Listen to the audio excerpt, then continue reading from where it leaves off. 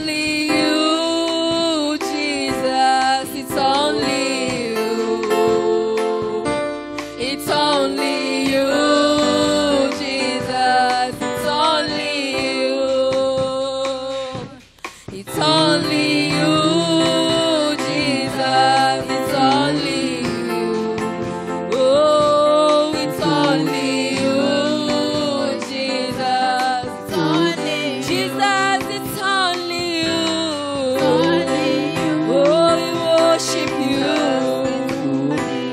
It's only you. It's only you. Yes, we declare this morning that Jesus, it's only you who can help us in our times of trouble. We declare you in our lives that Jesus, you're the one we run to when we have issues in our lives. We run to you and we are saved. Exalt you this morning because it's all about you this morning. Lord, it's only you who can save us from diseases. It's only you who can be able to protect us against the evil one. It's only you, Jesus. It's only you, Jesus, this morning. It's only you, our Father. We bless you this morning. We exalt you, Jesus. It's only you. It's only you. It's only you, our Father. We exalt you. We bless you this morning. Hallelujah to the Lord. Hallelujah to you, Jesus. We give you all the praise, oh God. We worship you this morning. Yes, you are the Lord,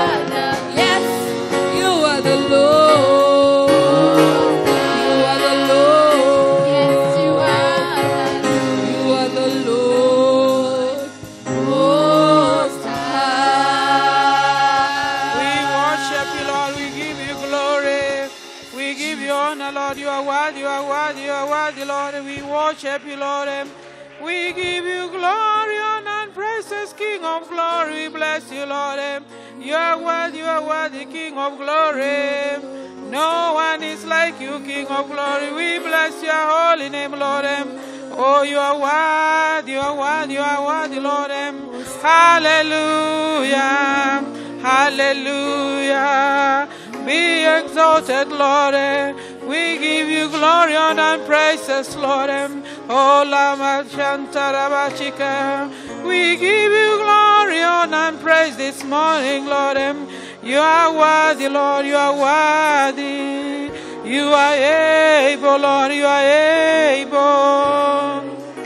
We thank you, Lord. We bless you, Lord. Oh, you are worthy, you are able, you're gracious, Lord. No one is like you, my Father, the rock of ages, Lord. We bless you in your beauty of holiness, Lord. Oh, Rabba Shantara Baba. We give you glory, Lord. Oh, you are worthy. You are worthy, you are worthy, you are worthy, Lord. We bless your holy name, Lord. We thank you, King of glory. Oh, you are able. Hallelujah, hallelujah. We bless you, Lord. We give you glory, Lord. Be exalted, King of glory.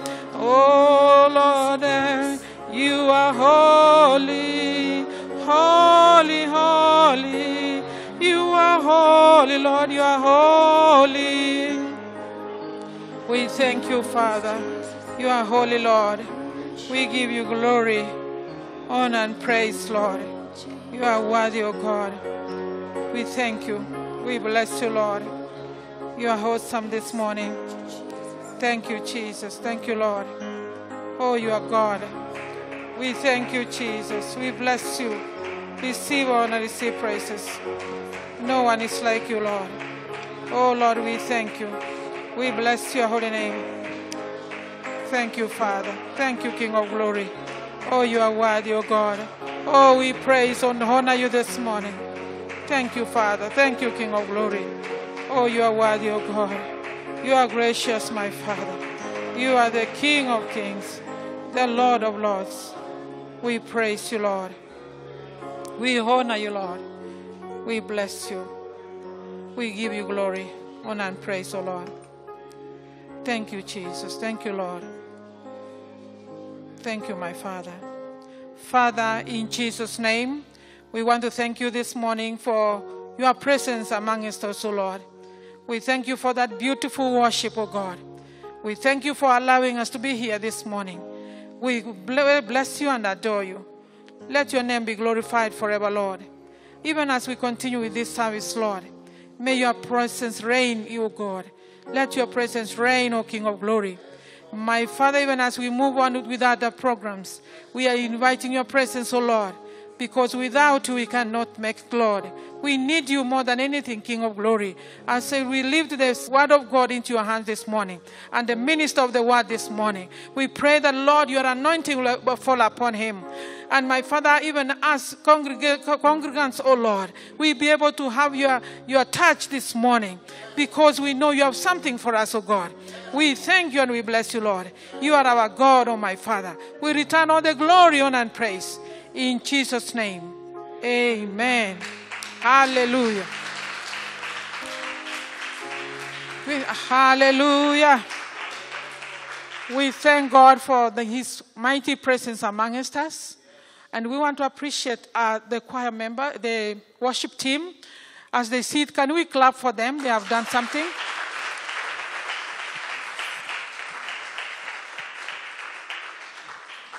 You can have your seats as we thank God for the move that we have had this morning.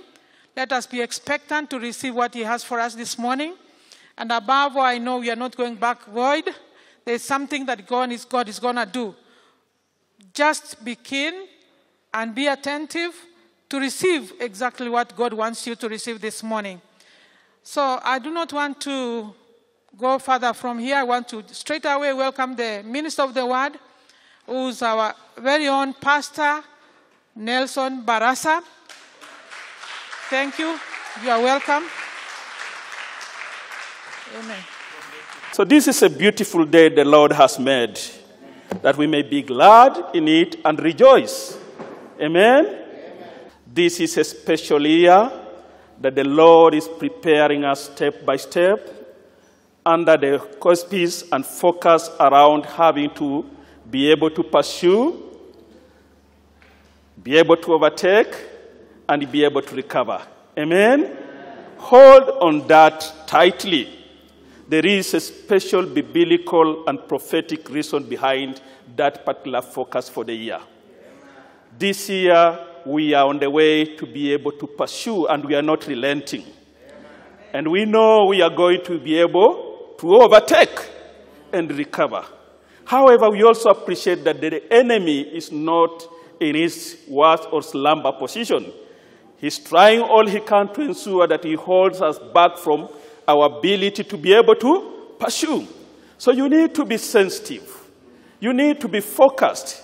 You need to remain attentive because the enemy's desire is that he may hold us back from our journey and our focus of pursuing, overtaking, and recovering. So this morning, the Spirit of the Lord wants to speak to us in this area again. Many are the hindrances that are making us not to be able to pursue, to overtake, and to recover. However, we remain focused to that very fact. So I want you to join me to be able to appreciate what the Spirit of the Lord is speaking to us this day. Join me as we go to the Word of God in Hosea chapter 4 and verse 6. Hosea chapter 4 and verse 6.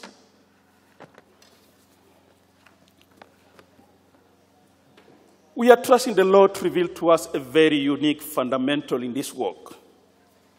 The things that hinder us from being able to pursue, to be able to overtake, and to be able to recover. The Bible says in Hosea chapter 4 and verse 6 My people are destroyed from lack of knowledge. Because you have rejected knowledge, I will also reject you as my priests. Because you have ignored the law of your God, I will also ignore your children. Let's pause there and allow the Spirit of God to speak to us. The Bible says in other versions, My people are perishing because of lack of knowledge. Praise the Lord. Perishing simply implies to us, according to our core focus, inability to be able to pursue, inability to be able to overtake, and inability to be able to recover. Praise the Lord. So we perish. We are not able to pursue as desired. We are not able to overtake. We are not able to recover. And so we are perishing along the line. So the Bible says in Hosea that my people are perishing because of lack of knowledge. What kind of knowledge? My people are perishing for failure to know who He is, who the Lord is to us, what He means to us in our pursuance and our call and our journey, what He means to us in terms of why He has called us. And so, in that regard, we find ourselves perishing. We find ourselves not being able to pursue and to overtake because the knowledge is limited, making us not to be able to pursue.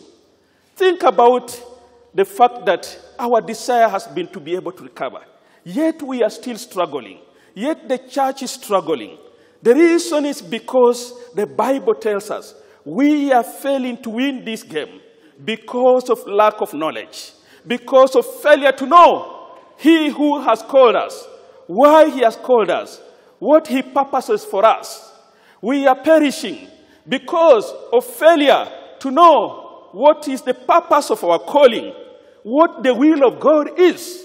Today, you and me, we struggle a lot to appreciate the will of God in our calling and in our life.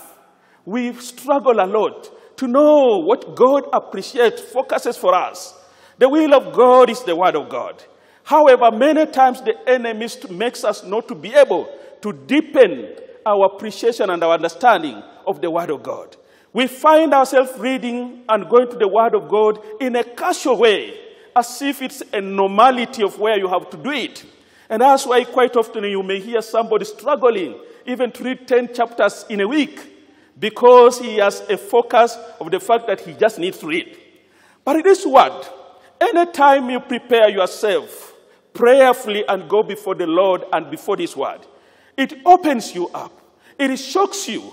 You hardly may be able to go even more than five lines in a given scripture before it breaks you down.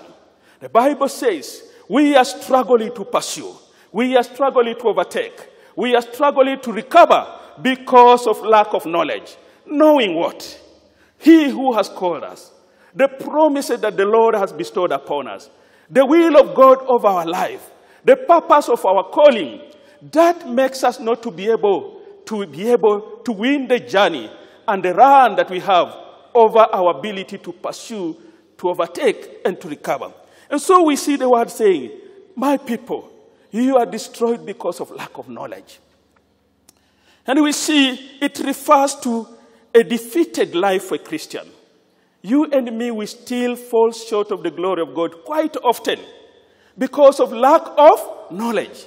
in the knowledge spread out in the Word of God, it opens up to ability to hold into a winning spree.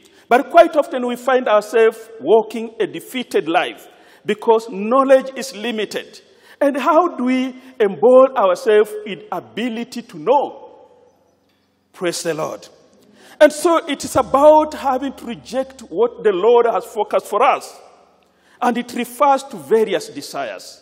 And so today we want to allow the Spirit of God to open to us in this area of pursuing, overtaking, and recovering.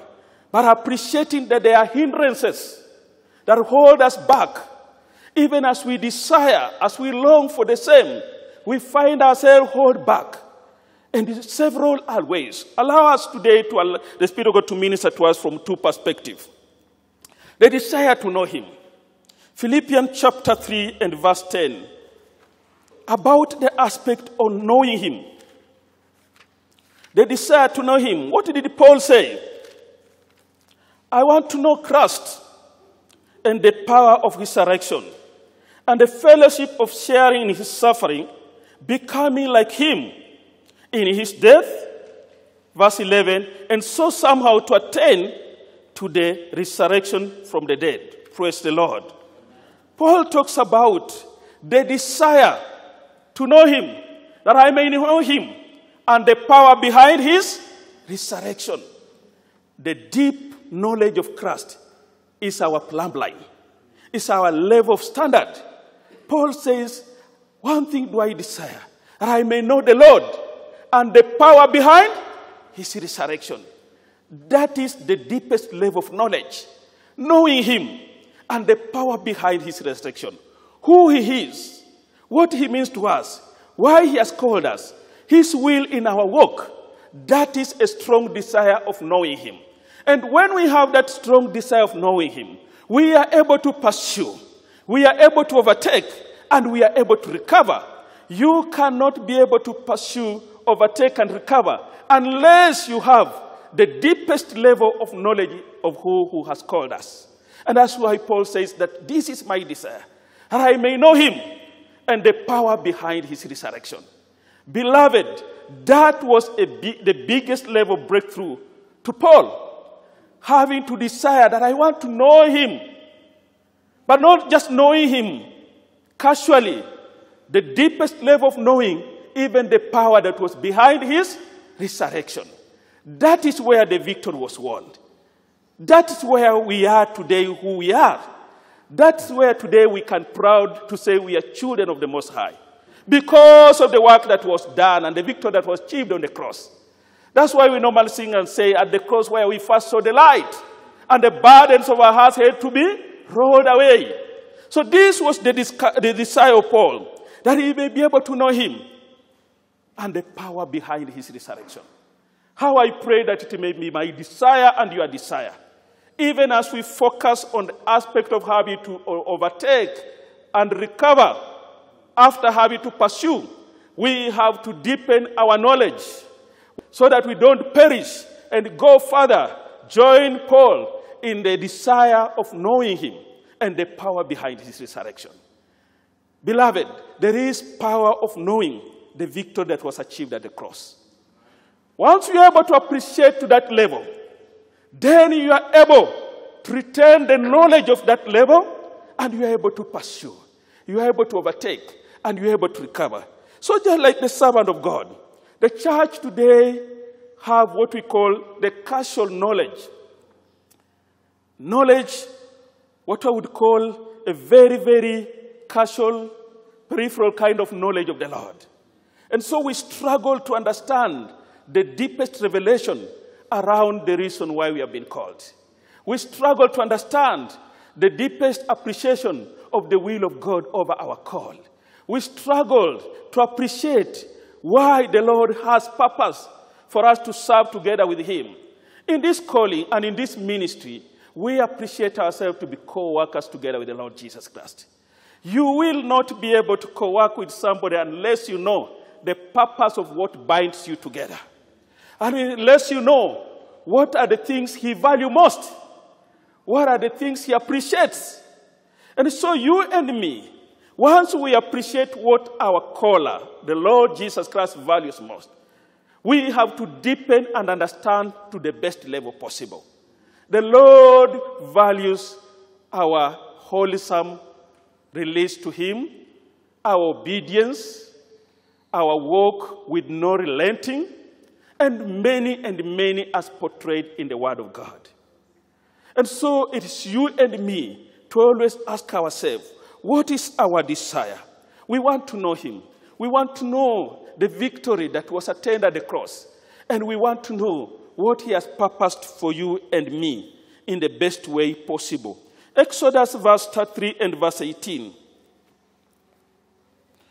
Moses talks about a prayer, makes a prayer of, that you show, may show me your glory and your way, the knowledge, knowing and appreciating and understanding he who is and what it means. Psalms 42 and verse 1. Let's read from verse 1. David here talks about as the deer pants for the water brook or water streams, depending on the version that you are using. So do my soul pant for you, O God, a desire of knowing He who is that has called us. A desire of a deep appreciation and understanding of the knowledge of God. So we see Paul saying, just as the deer normally pants for the water brook, so do my soul pant for you. A deeper desire of knowing he who has called us, so that we may not be able to perish, so that we may not be able to lose this focus and fight. And so Paul opens up around that and says, As the deer pants for the water brook, so do my soul pant for you, so do my soul long for you, longing to know you in the best way possible, knowing you, your values, what you value most, what you prefer, your expectation of us. And in that, then we are able to be on a tight course of pursuing from a knowledge position. Quite often we could find ourselves pursuing, but not from a knowledge position. You are pursuing, but you even don't understand the strength and what you have in terms of ability to be able to pursue, overtake, and recover. And so, beloved, what are the knowledge areas that we need to appreciate? Knowing, knowing the will of God of our lives and of our calling. And it's no other other place other than the Word of God. This is the will of God. Quite often, your fellow to brethren, they may be young in faith, and they are able to ask you, How do I know this is the will of God? And you find yourself trying to unpack what, how the word can be able to reveal to that. Or you find yourself trying to struggle around, trying to help that brother or sister. One of the best reference points is to refer to that brother or sister to the Word of God. That is the will of God. There is no any other revelation of the will of God other than the spoken word and the written word. Praise the Lord. Then knowing what our rights are in this calling. As children of God, we have rights that we need to appreciate and have a deeper understanding about. We struggle again a lot in terms of our ability to be able to pursue, to overtake, and to recover because we don't have a deeper appreciation and understanding of our rights as children of the Most High. Praise the Lord. You and me do have some fair knowledge. But here we are, the Spirit of the Lord is speaking to us deeper knowledge and appreciation of our rights. What is your right as a child of God? Where do you appreciate from that perspective? Amen? Again, we refer back to the written word of God. Inside the written word of God, there lies our right. And we need to know our rights. These are the promises that the Lord has bestowed upon you and me as a child of God. Once we know and hold on that, then we are holding on our rights. The world talks about various areas of right.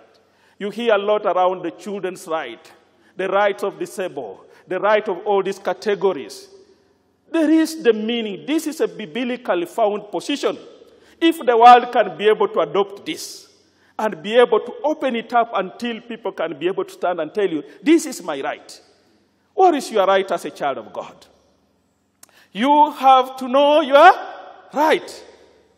And it's nowhere other than in the Word of God. These are the promises that the Lord has made.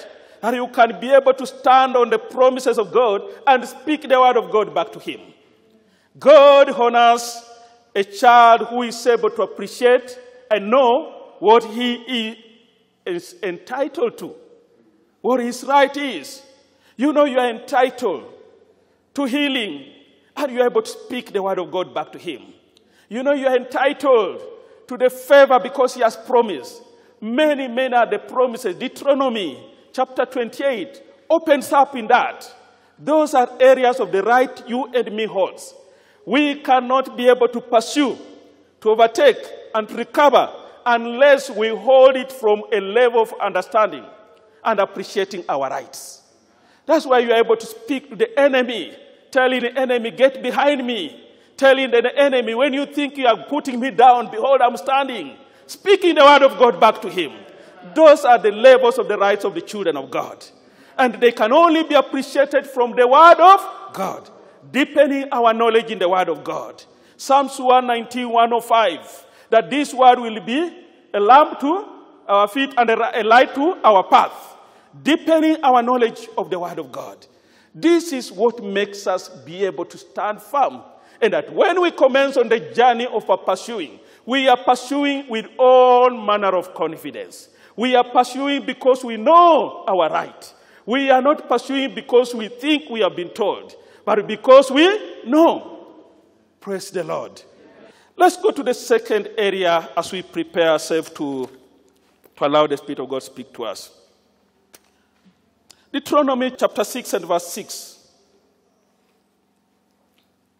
It talks about loving the Lord with all your heart. And I was looking at this area from this perspective. The Lord talking about the third kind of love that can be able to differentiate and make our pursuance come real even as we desire to recover. Leviticus number 19 talks about loving your neighbor. So we see two dimensions of love here loving the Lord with all your heart, two, loving your neighbors and then now we see the Lord Jesus Christ bringing the third dimension of love. Matthew chapter 5 and verse 44, we could quickly read there. But I tell you, love your enemies and pray for those who persecute you, that you may become sons of the Father in heaven. Praise the Lord. The third dimension of love. The least talked about area of love. Quite often we refrain ourselves around the two. Loving the Lord with all your heart. Then loving your neighbors as you love yourself. Then there is this dimension that comes forth from the Lord Jesus himself. Love your enemies and pray for them. Praise the Lord. Our pursuance of being able to pursue, overtake, and recover calls for you to do it from a certain perspective, including the perspective of love. Praise the Lord. And here, the enemy, we should not just paraphrasing and seeing from the perspective of the devil, isn't it? But I know you, there are people who have offended you. There are people who don't bless your heart. There are people you just don't love. There are people who have go really inflicted injustice upon you. There are people who have really talked negatively. They have brought you down. People have done funny, funny things over your life.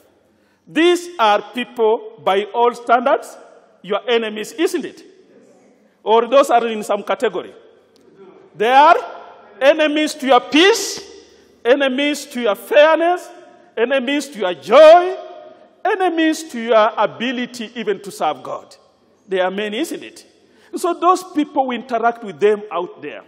And so uh, the, what the Spirit of the Lord was speaking to me, what are we pursuing? Is it the devil that we are restricting ourselves and in which manner?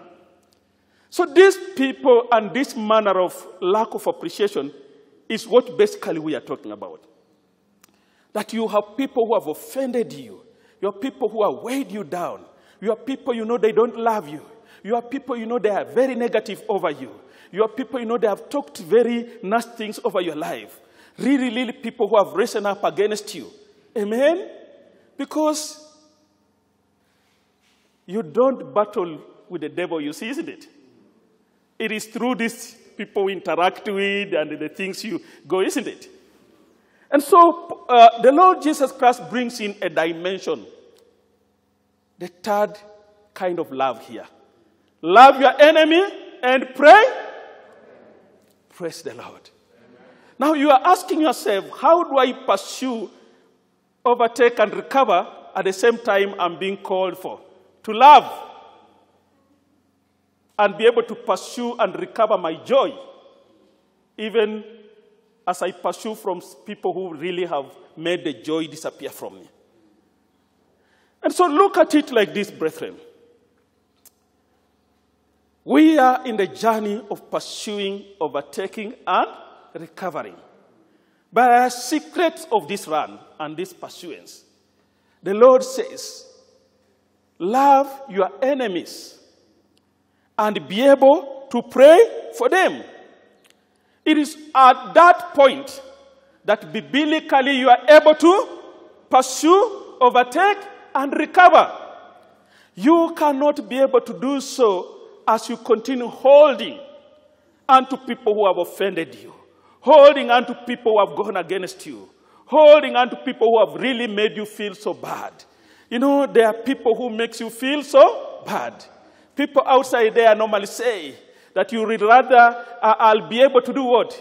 Forget what you did, but I'll never forget what, how you made me feel. feel.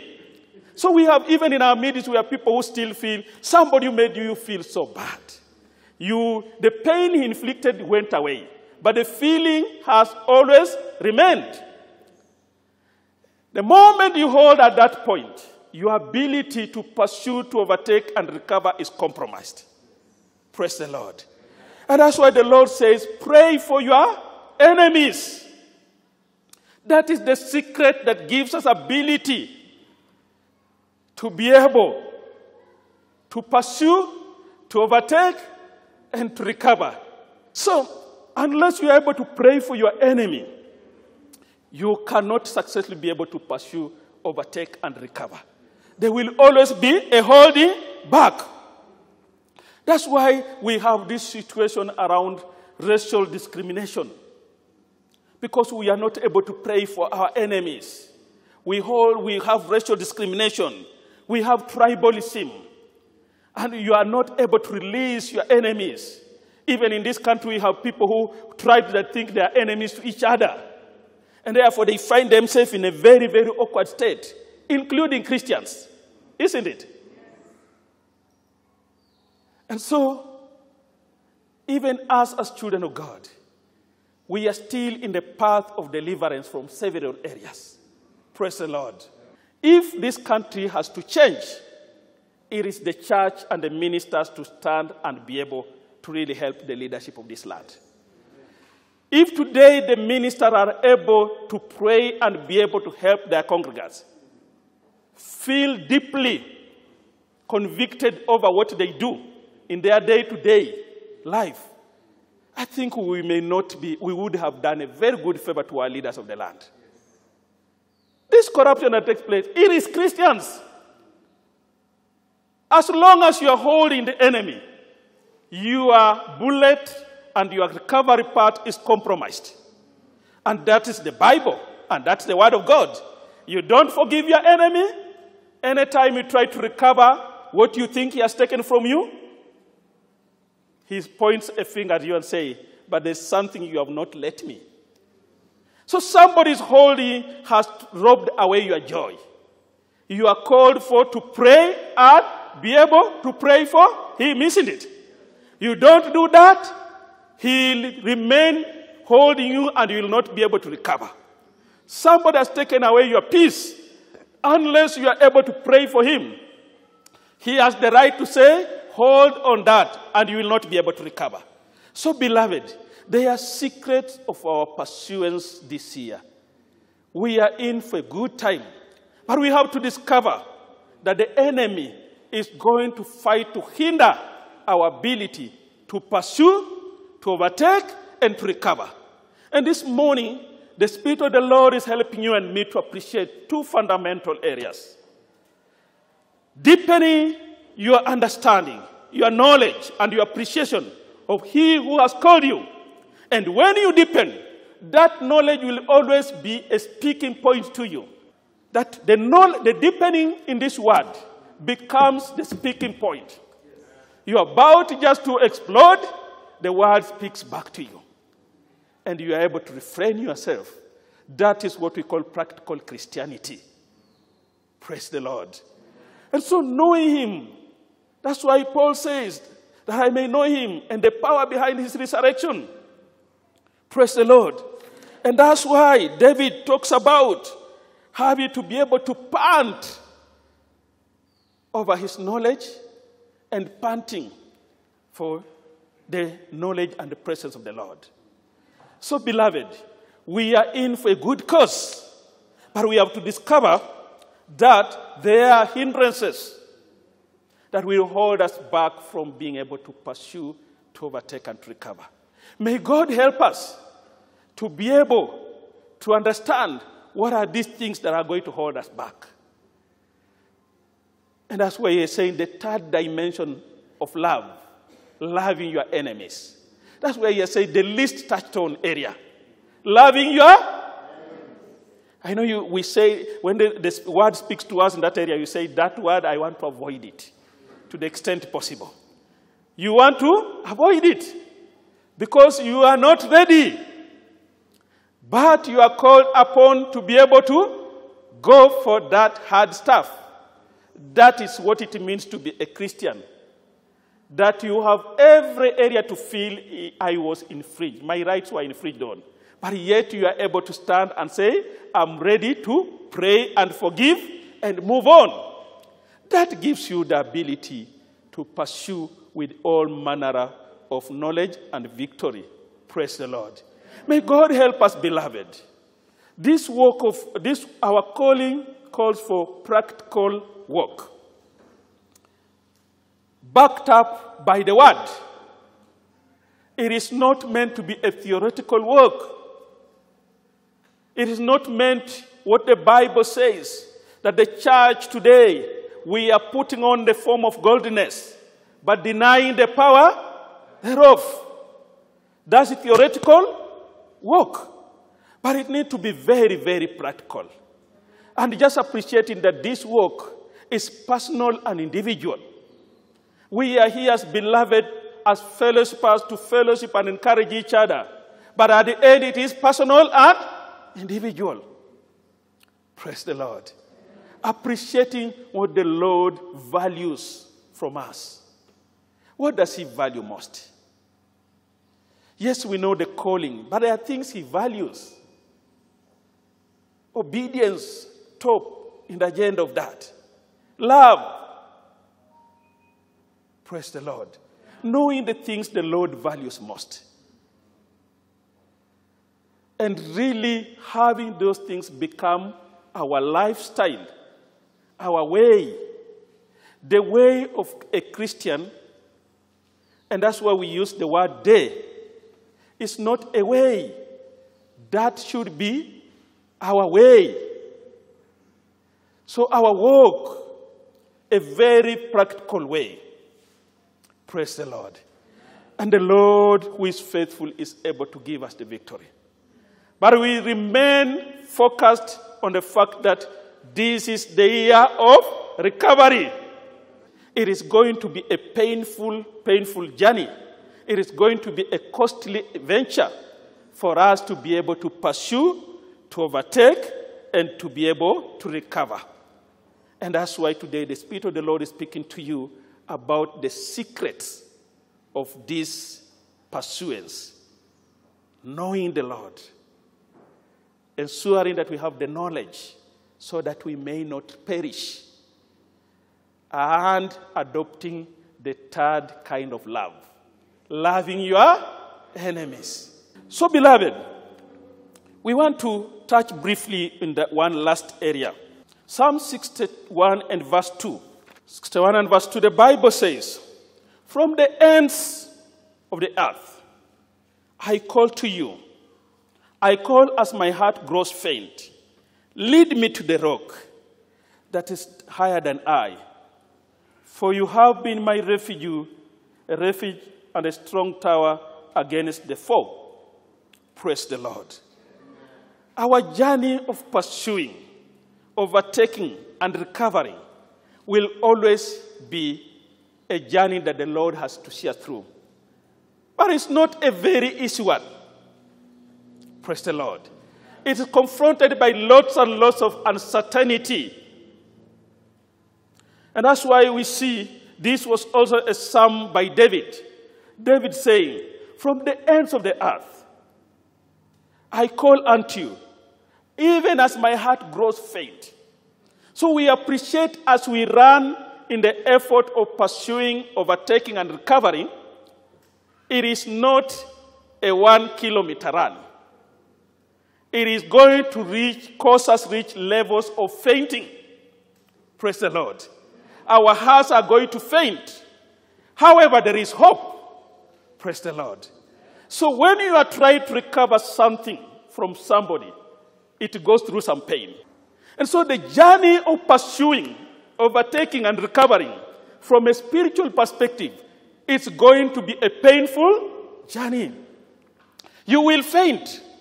That's why David says, My heart will reach a level where I faint. Praise the Lord.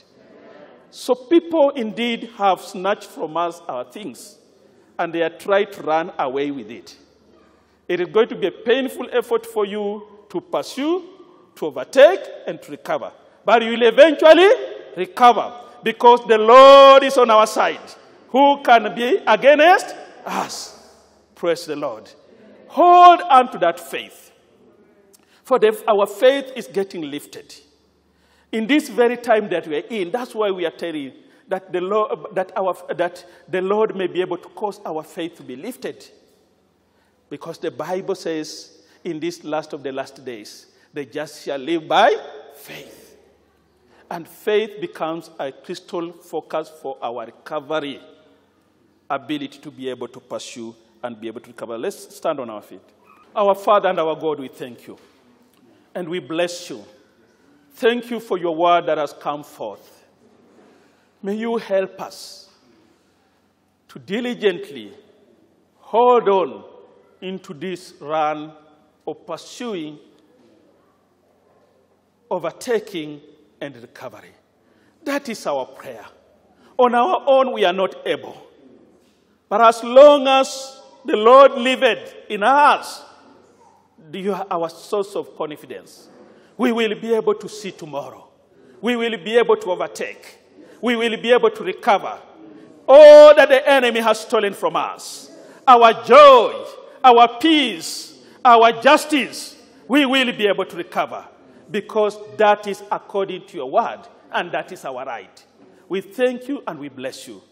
May you help each one of us to ponder through this word that it may be able to be enriched in our hearts for the purpose of recovery at such a time as this. In Jesus' name we pray and trust. Amen. God bless you. Amen.